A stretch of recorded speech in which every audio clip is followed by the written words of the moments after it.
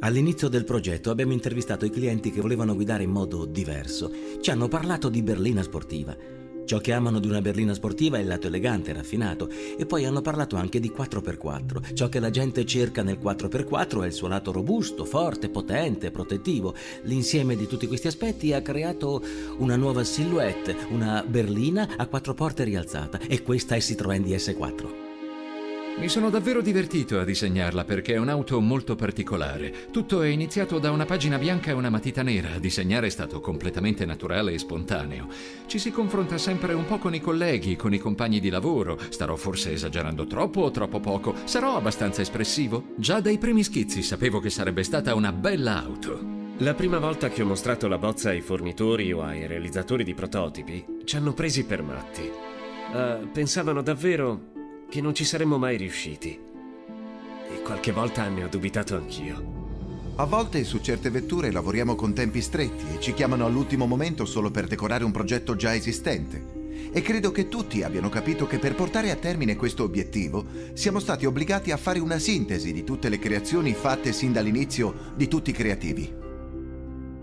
Durante lo sviluppo mi è stato detto, possiamo rilavorare un po' il tono, più opaco, più nero, ma così alla fine non si vedrà niente. Dai, ok, ci proviamo. E all'improvviso ti rendi conto che è proprio quello che ci voleva. Quando abbiamo detto all'inizio che volevamo realizzare un'auto alta come un 4x4 con grandi ruote e poi che volevamo avere l'impressione di guidare una berlina, ci hanno presi per matti. Uh, sono inglese, ovvio. E Citroën DS4 è una macchina fantastica sulla quale ho avuto la possibilità di lavorare. È un'auto molto dinamica che sembra una berlina sportiva, ma con spazio sufficiente per 4 o 5 passeggeri. Citroën DS4 è qualcosa di diverso, di mai visto. Tradizionalmente una berlina non ha una linea così dinamica.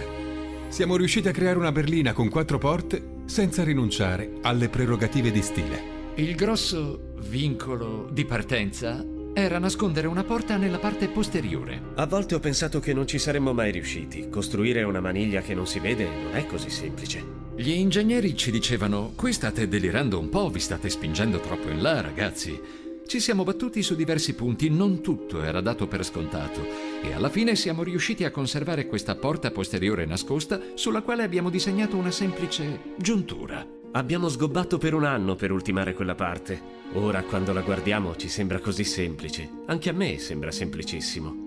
Ma non era per nulla ovvio. Gli amici mi dicevano, se riuscissimo a farla così sarebbe fantastico. E alla fine è così che è stata realizzata. Quando mi capita di incrociare il designer, ammette sempre che è fiero del fatto che la sua auto non sia stata cambiata. Il suo prototipo adesso è in strada. Bisogna essere molto perseveranti. Possiamo avere un'idea geniale, ma se non ci si batte, non vedrà mai la luce.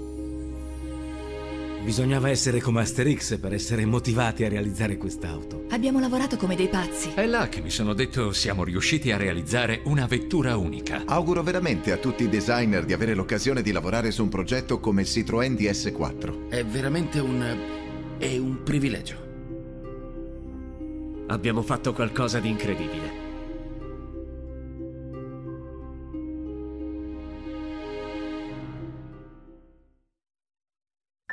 Quando si entra in quest'auto si ha una vera e propria sensazione di classe, di chic. È vero che è unica, non si è mai vista da nessun'altra parte.